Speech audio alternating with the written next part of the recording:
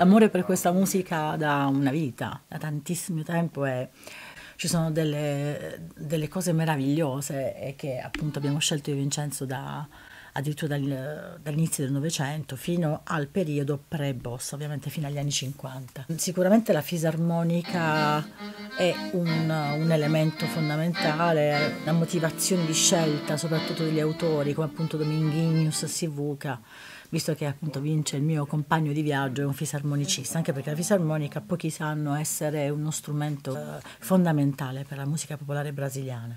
Chico Buarchi, Milton Nascimento, Sivuca, Dominguinhos, uh, Carlos Lira, Antonio Maria, cioè sono, eh, ogni brano è a sé stante, è una, un pezzo di storia a sé stante del Brasile.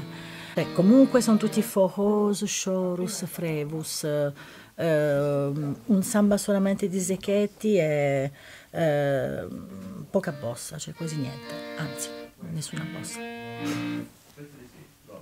Siamo diventati um, eh, complementari, eh, sentiamo i nostri respiri anche se praticamente non ci guardiamo, c'è un interplay altissimo e pazzesco. Questa cosa è, è, venuta fuori in maniera abbastanza ormai fluida perché l'iter con cui eh, scegliamo i brani, con cui ci organizziamo negli arrangiamenti, con cui proviamo, con cui poi suoniamo insieme è così sciolto, è così naturale che è venuto fuori in maniera molto molto molto naturale. ハハハハ!